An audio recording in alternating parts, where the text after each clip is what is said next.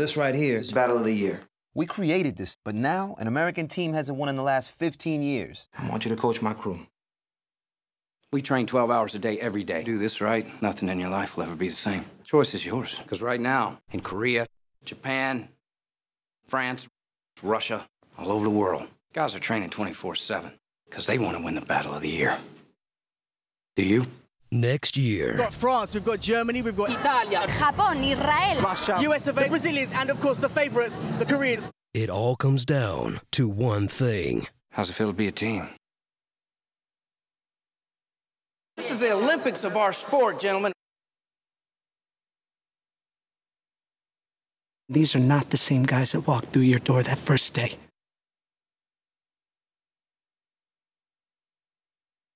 Battle of the Year in 3D.